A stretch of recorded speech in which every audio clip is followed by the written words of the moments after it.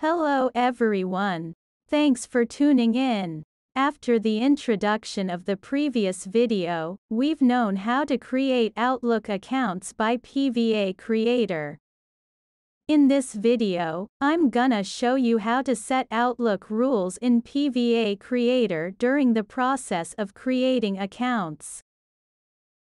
Let's start at the Inbox Rules option. Input your rule name first of all.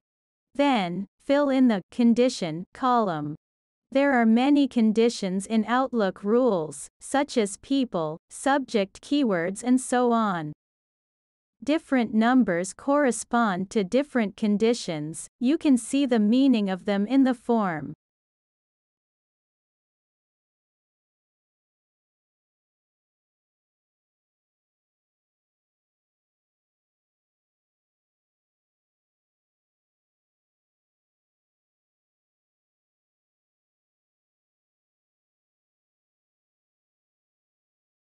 You need to input more information in the condition option column. For example, if you want to add the condition that you've received an email from xxx at gmail.com and yyyy at gmail.com. Then you need to type 0, 0 in the condition column and type xxx at gmail.com, yyyy at gmail.com in the condition option column.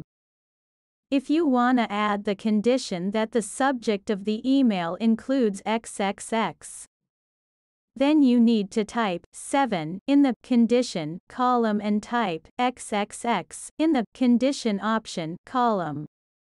The last two columns are similar to condition and condition option.